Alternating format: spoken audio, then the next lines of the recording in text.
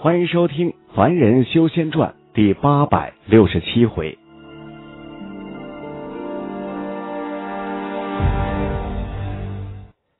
其余之人听闻“百足之战”等字眼儿，也都面容铁青了起来，似乎马道士提到了什么极其可怕的事情，让他们难以再保持平常的镇定了。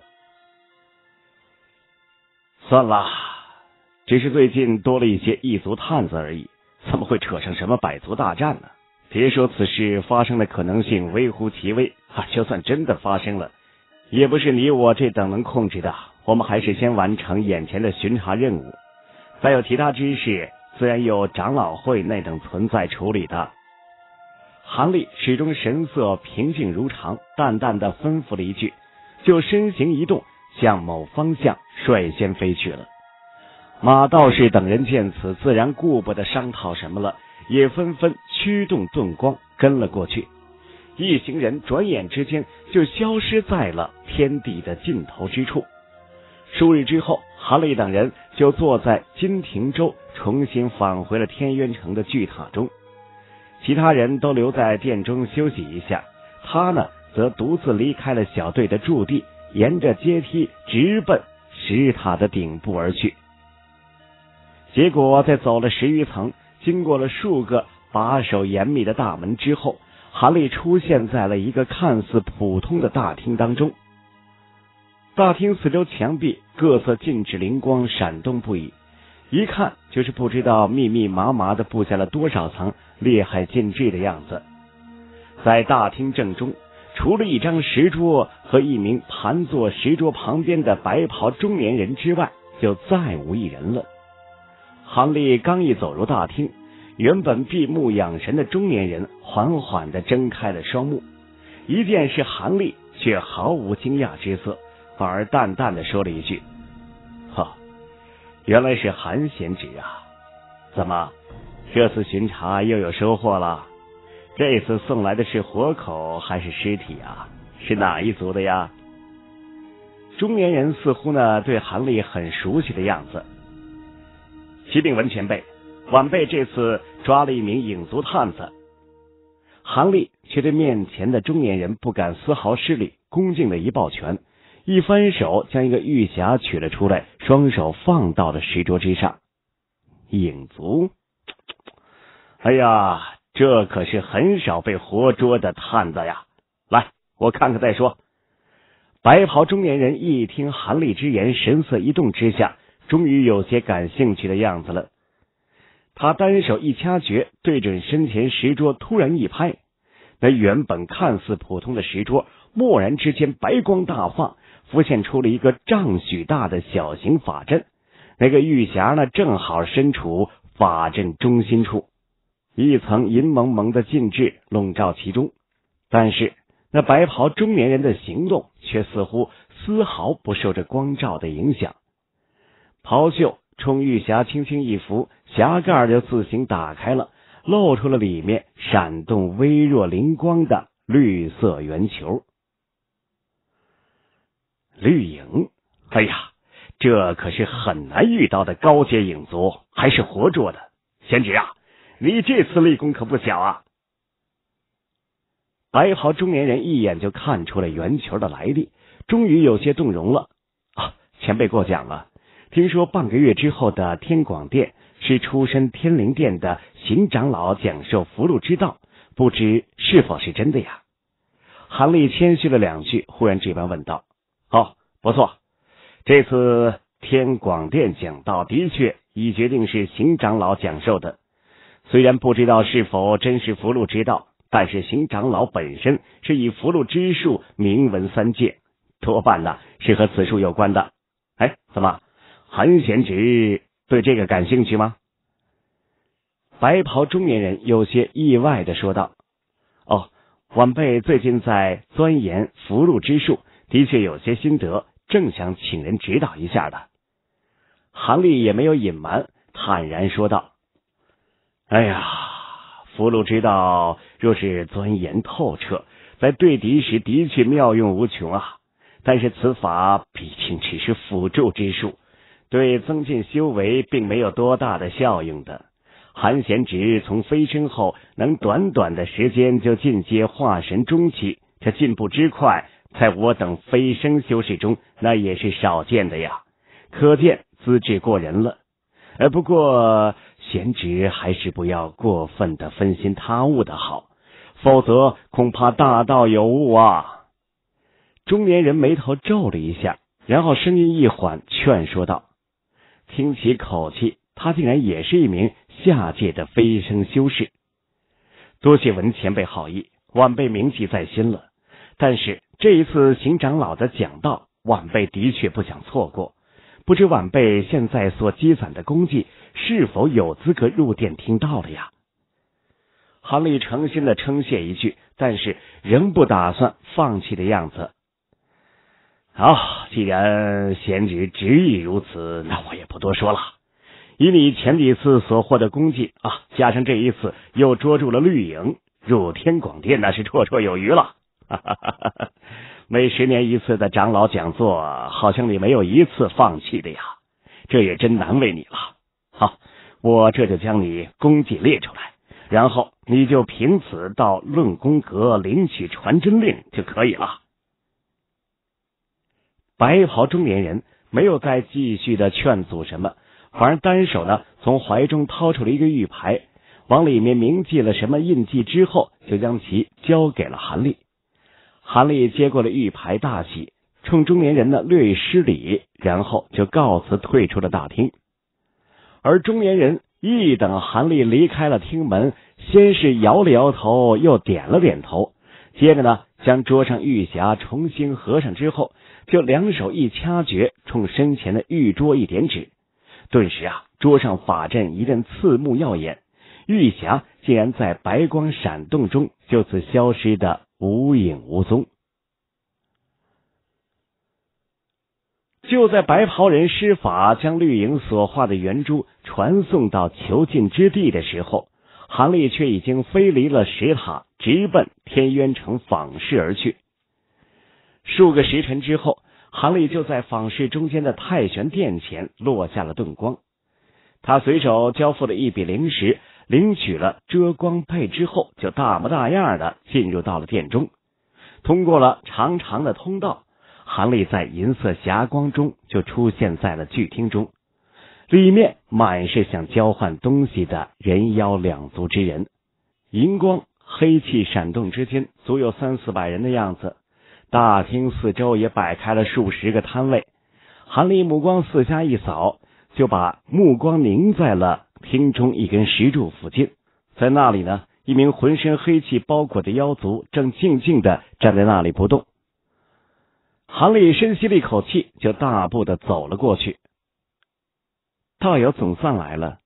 上次交易过后，我以为道友马上就要闭关苦修，起码数年之内无法相见呢。未等韩立走过来，耳边就蓦然传出了一声低低的轻笑，声音悦耳动听，但又十分欣喜的样子。哈，我这次来也只是碰碰运气而已，没有想到严道友也真在此地了。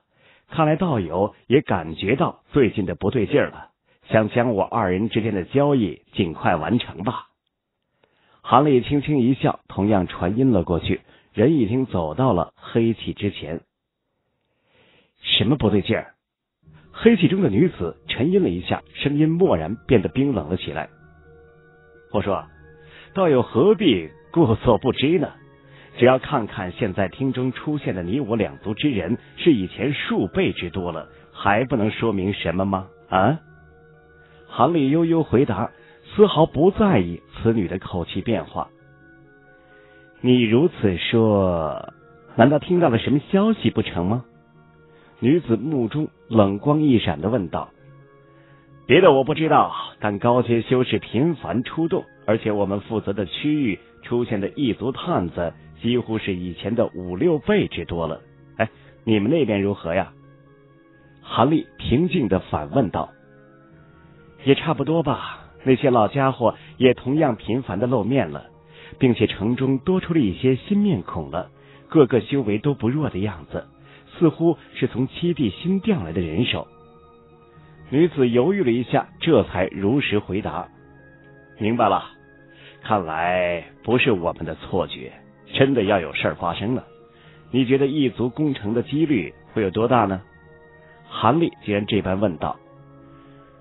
我看起码有三成几率吧，否则城中不会出现这么惊人的变化的。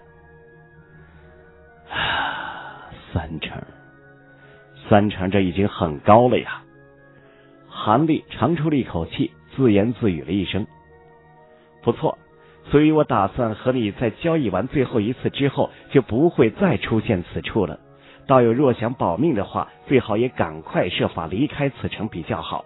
否则，一旦异族真的攻城，你我这样等级的存在，哼，十有八九是难逃劫难的呀。”哎呀，道友说的倒是简单。身为此城修士。哪是这么容易离开的呀？况且我每年还需要……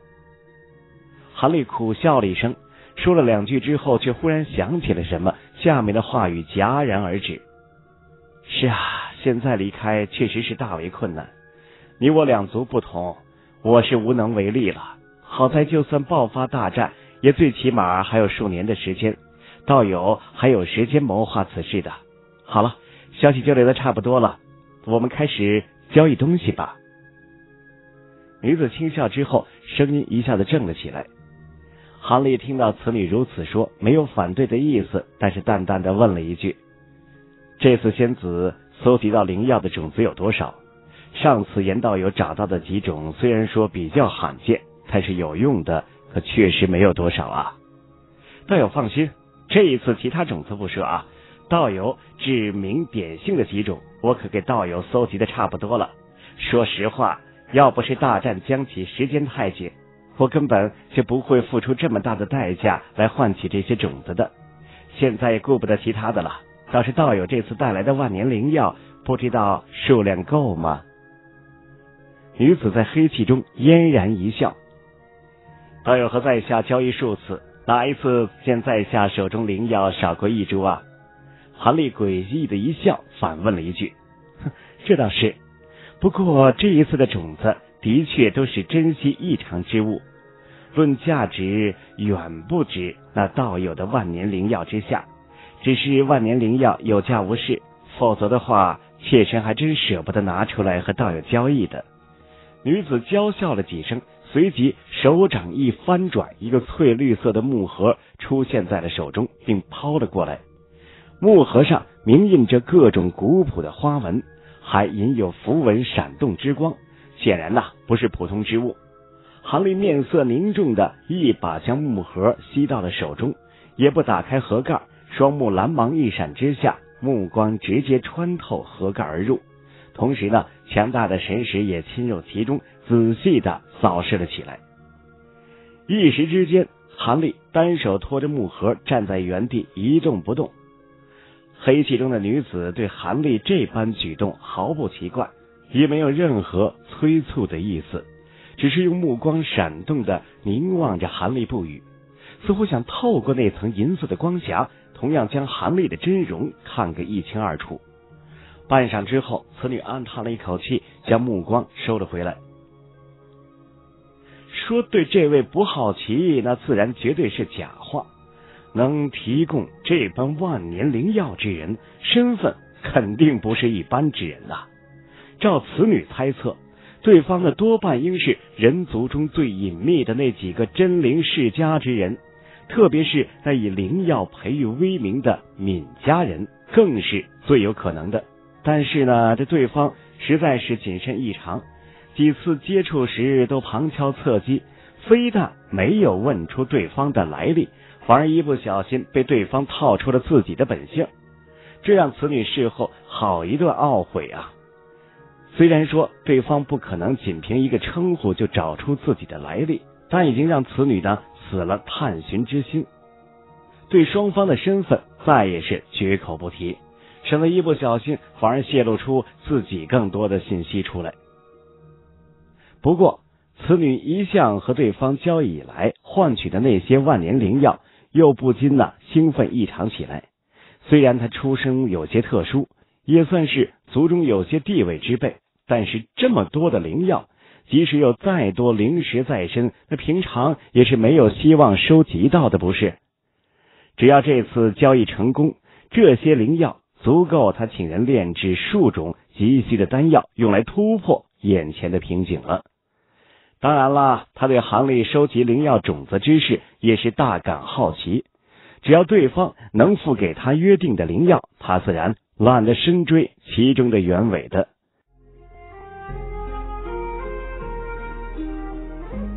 畅听网有时候聆听也是一种力量。你的畅听别样精彩，三 w 点听八五点 com。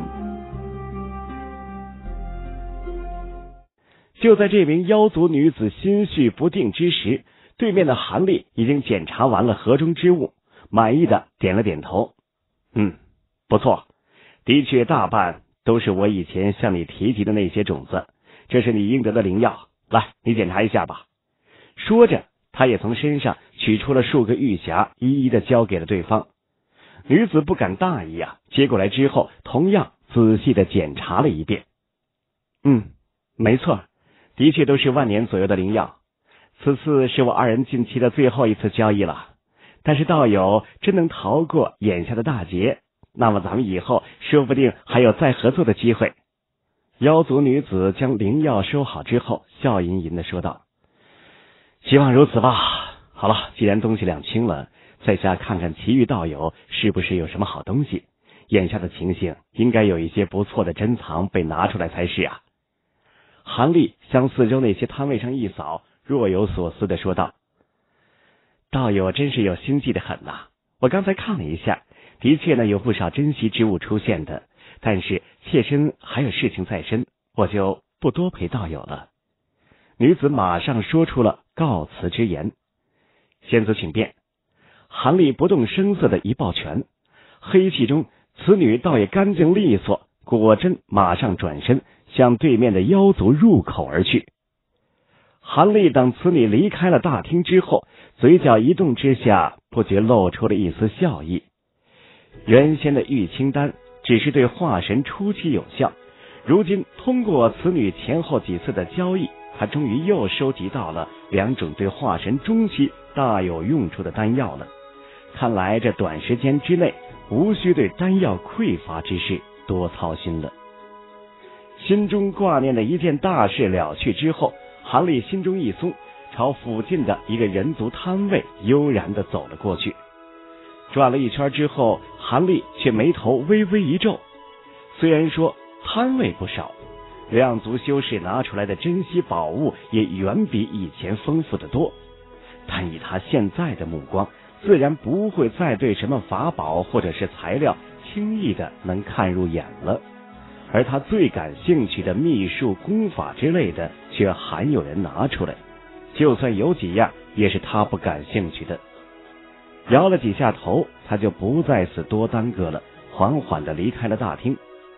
一出太玄殿，韩立就驱动遁光往自己居住的石塔而去。半个月之后，就是长老讲道之日了。韩立呢，他是绝对。不会就此放过的，而且即使没有此事，他还有另外一件事情要处理，也不会马上离开天渊城的。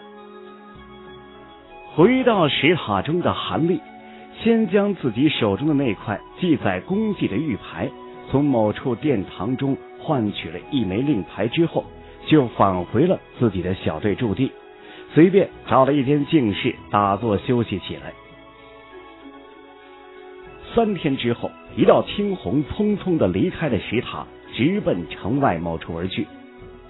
小半天之后，一道青红出现在城外的某座山谷上空。这个山谷葱葱郁郁，但看起来除了景色秀丽一些之外，实在是没有任何起眼之处。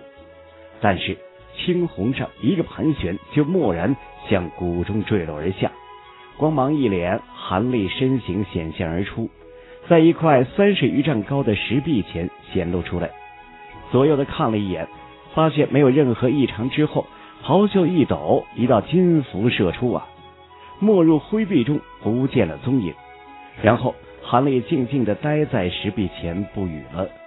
片刻之后，不可思议的一幕出现了：石壁表面呢，忽然泛起了一层灰蒙蒙的烟雾，随之凭空在韩立身前呢，出现了一通道，呈正方形，四壁都是青色石壁，那闪动着微弱的灵光。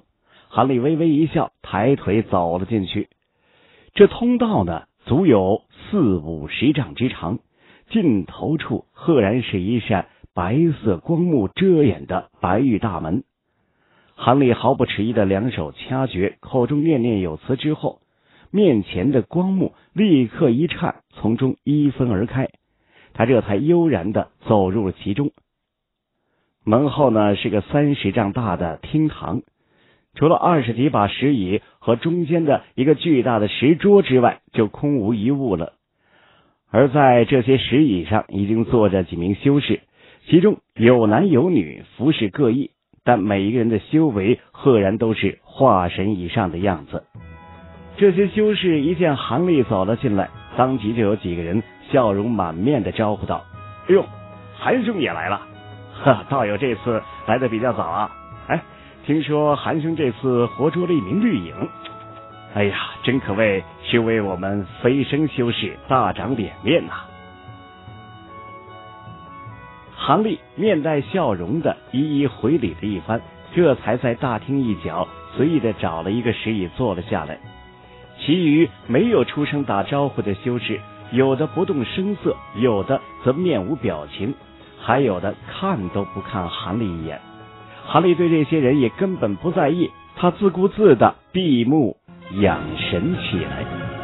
欲知后事如何，欢迎各位继续关注收听《凡人修仙传》第八百六十八回。